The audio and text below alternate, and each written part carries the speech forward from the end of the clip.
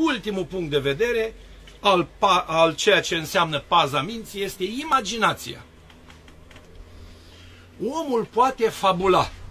Și când vă spun cuvântul poate fabula, îți poate spune multe și mărunte, vers și uscate, și adevărate și neadevărate, și închipuite și trăite.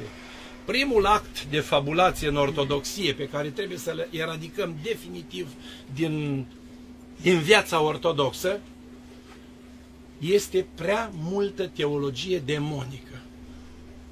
Mă spăimântă câteodată că într-o țară ortodoxă cu 80%, na, să spunem, nu toți practicanți, dar creștini ortodoxi, lumea are mai multă discernere în ceea ce privește lucrarea lui Sarsailă decât în ceea ce privește actul de mântuire adus prin Isus Hristos în inima noastră.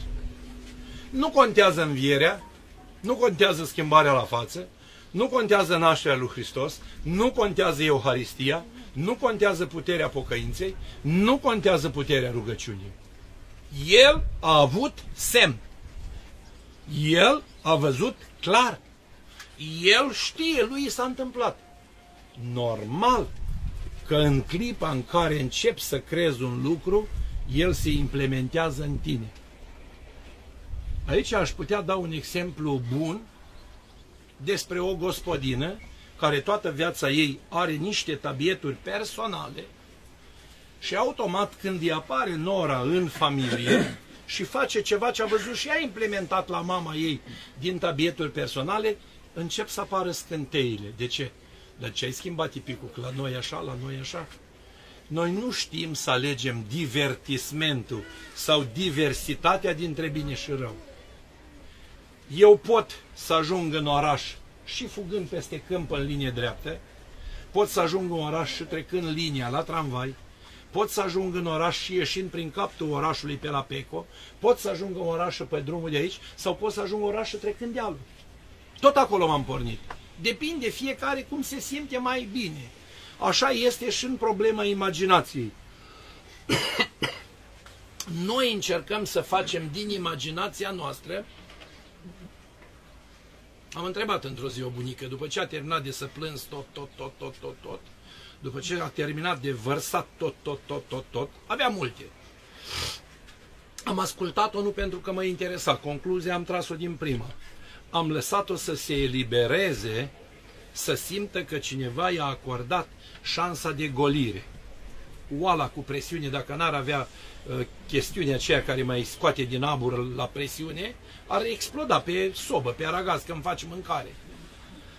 Așa este nevoie și în cadrul problemei de spovedanie. Sunt babe receptive, extraordinare.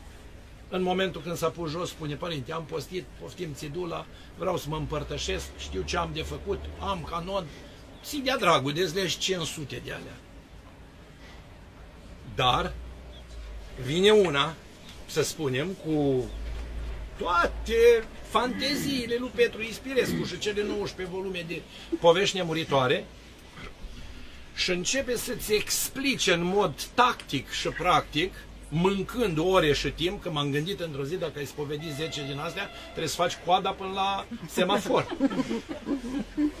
Părinte, știți, în 1932. Maica mea e născut în 21. Soacra mea e născută în 18. Bunicul meu era în 902, a prins și războiul mondial. Bunică, până aici am înțeles. Mata, spunem care e esența, ce s-a întâmplat.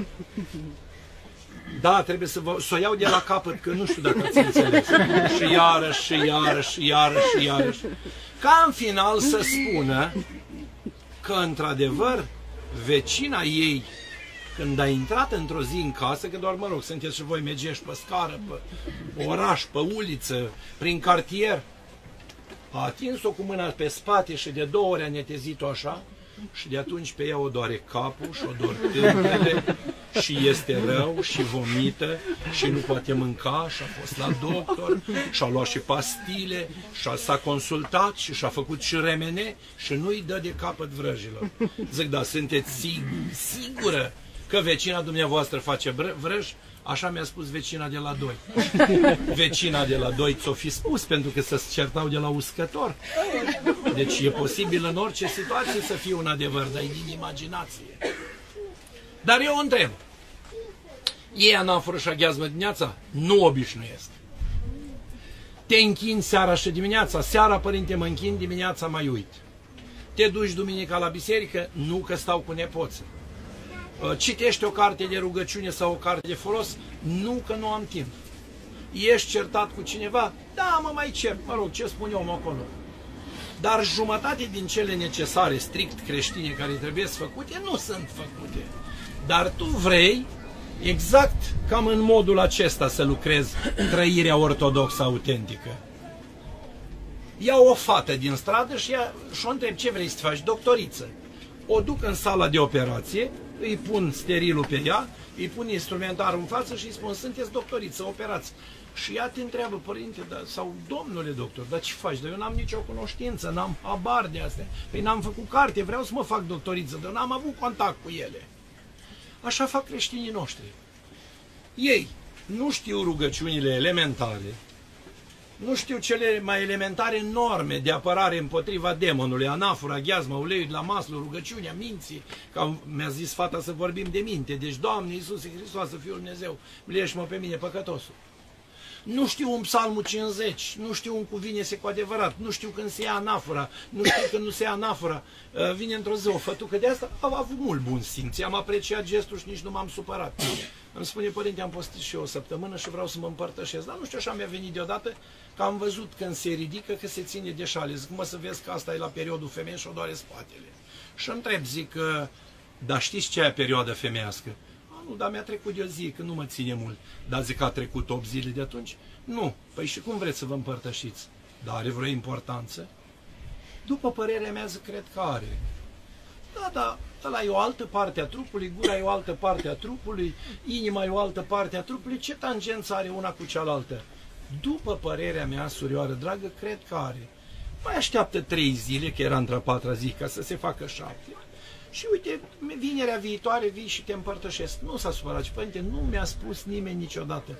De nu știu câte ori m-am împărtășit pe timpul femeiesc, că n-am știut. Deci, vedeți? Și tu vrei să fii misticul absolut, să-ți se deschidă cerul, să-ți împlinească Dumnezeu toate dorințele, să rezolvi totul din prima, să totul să fie ceas cum vrei tu și cum poruncești.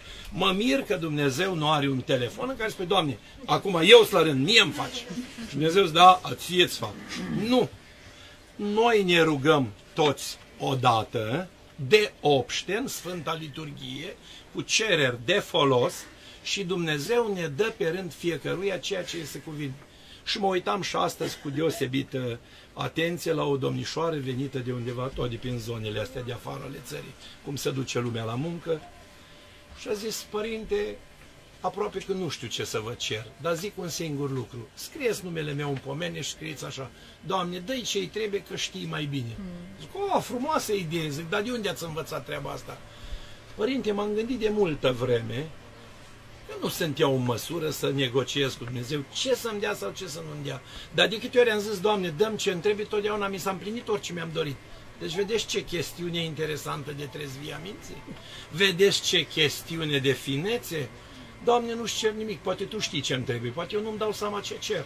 Că noi de multe ori, Mântuitorul ne mustră în Evanghelie și spune, voi nu știți ce cereți, nu știți să vă rugați, nu știți ce vreți, că dacă bateți, vi se deschide și dacă cereți, primiți, dar când stați de vă rugați, să nu aveți nimic asupra altcuiva, că dacă voi nu iertați alor voștri, a semenilor, nici Dumnezeu nu vă ascultă și nu vă iartă vouă. Ar trebui primul lucru din imaginația noastră să muncim, să ne scoatem aceste așa zise ultraje psihice despre vrăj și vrăjitorie, e și o rușine pentru ortodoxie că foarte mulți preoți pun mare accent pe chestia asta.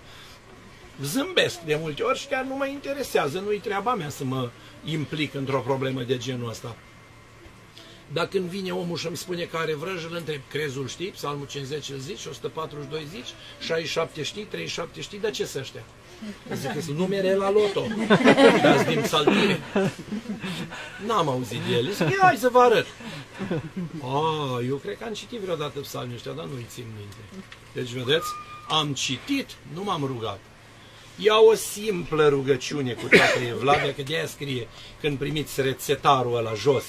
O singură rugăciune pe zi. Nu facem ghiveci. Eu îl rog pe Sfântul Mihail o problemă, da. Oare crezi că dacă ai mai avea una, el nu știe că trebuie să te ajute și în aia? Știe. Nu trebuie să faci... Uh, mi-a plăcut, repet iarăși din nou, legat de imaginație. A venit într-o zi o doamnă simpatică, așa sunt ele, simpatice. Și a spus, părinte, azi am făcut 40 de paraclise la Maica Domnului, să înfrântă de oboseală. Și totuși nu mi s-a îndeplinit ce am cerut eu. Zic, sigur, Maica Domnului era plecată undeva. Părinte, dar dumneavoastră vă bateți joc, știți ce înseamnă să te scoli de la ora 7 și stai până la 4 după amiază cu cartea de rugăciuni în mână? Dar ce era dacă de la 7 dimineață când te-ai sculat, te duceai într-o biserică unde e Sfânta Liturghie, ascultai Sfânta Liturghie, dacă ești din Iași, că era din Iași, mai treci și atingi un pic racla cuvioasei, mai du-te o plimbare și plimbă copou, să iei o gură de aer curat, să respiri, să comunici, să simți că te-ai degajat de încărcătura care te apasă și când ai intrat în casă, ai băut un ceai frumos, ai deschis geamul să intri o gură de soare și te pui frumos după aia liniștit în genunchi și spui un paraclis, Maica Doamne, atât ți-am putut dărui din toată inima cu toată mulțumirea, cu toată pacea, cu toată bucuria, ce știi că îmi trebuie, dăm tu că poți. Atât. Știi? La catistul, la paraclisul 21, cred că acum e timpul să mă aude, la al 30 deja ar trebui să se împlinească. Uitați că nu se împlinește. Uitați că Dumnezeu nu este contabilul nostru personal. Eu am să încerc să mă opresc, eu vă pot povesti multe din astea. Am pus accent pe rațiune, pe auz, pe văz, pe inimă, pe imaginație și pe ceea ce noi inventăm imaginativ în mintea noastră și poate câteodată nu sunt adevărat. Deci, orice lucru este adevărat atunci când demonul se arată ca la Sfântul Antonie și îl bate cu toiagul de foc. Atunci când demonul se arată și vorbește cum vorbea cu Sfântul Antonie. Atunci când demonul tu le faci pe toate corect și ceva nu merge dar să lepădăm de la noi, cum spune acolo, frica aceea de care spune psalmistul. S-au temut de frică unde nu era frică. Și ca să păstrați mintea curată, să închei cu ideea fetei, vedeți că în psalmi undeva sunt, în psalmi undeva sunt două citate puternice legate de minte. Fica Babilonului ticăloasa, fericit cel ce va lovi pruncii tăi de piatră. Este vorba de minte pe care o încărcăm cu rugăciunea lui Isus, piatra din capul unghiului, care zdrobește orice gânduri și orice dragi și îi depărtează din sufletul nostru. Și apoi, a doua, spune pe undeva prin, după Catisma 15 în dimineața am ucis pe toți păcătoșii pământului, să nu stăpânească în cetatea Domnului cei ce lucrează fără de legea. V-ați întrebat vreodată ce înseamnă lucrul ăsta? Înseamnă primul gând sosit în minte, pe care nu l-ai lăsat să se dezvolte, l-ai fugărit rapid cu rugăciunea în dimineață, deci în prima licărire de apariție, ca să nu vină cei ce lucrează fără de legea, demonii, să-l transforme în patimă și din patimă să te muncească. Îmi spunea acum într-o zi cineva, am și zâmbit. Da, râsul îngrașă, de vedeți, să observă. Și îmi spune așa, părinte, sunt cea mai mare fitoterapeută din Iași și rețetar din asta, cum folosesc, doamne, nu știu cum să spune, gastronom, nu, care se ocupă de slăbit, de nutriționist. Dacă aveți nevoie, vă pot fi de folos. Am rețete și medicamente și uh, sfaturi, că puteți, dacă vreți, să dați și 20 de kilograme într-o lună jos. Doamnă, mă credeți că știu că ați făcut carte și știu că cabinetul vă costă și curentul, și apa, și aparatura, și literatura, că nu e ușor, mă rog, să încarci un cabinet cu toate sofisticăriile, să fii în ton cu modernismul am și eu o rețetă pe care dacă mi-o respectați, când ne întâlnim data viitoare, sunteți jumate cât mine. Că și doamna era sănătoasă. și a zis, care, care, care? În fiecare dimineață beți o cană de apă și faceți 300 de mătănii. În fiecare seară la culcare beți o cană de ceai și faceți 300 de mătănii. Ce sale mătănii? Zic, dacă vreți, vă arăt una. Și a zis, da, dar eu nu sunt bisericoasă. Eu n-am vorbit de biserică, eu v-am spus ce rețetar am pentru slăbit. Vă recomand cu plăcere acest rețetar dacă îi adăugați în fața la fiecare metanie o singură și simplă rugăciune care izgonește toți demonii din casă. Doamne Iisuse Hristoase, Fiule și Cuvântul lui Dumnezeu, pentru rugăciunile prorocului și botezătorului Ioan, a preacurate mai tale, a voievozilor și a cinstitelor cerești, netrupești puteri, și ale tuturor sfinților români și a tuturor sfinților, miluiește-ne și ne mântuiește pe noi. Amin.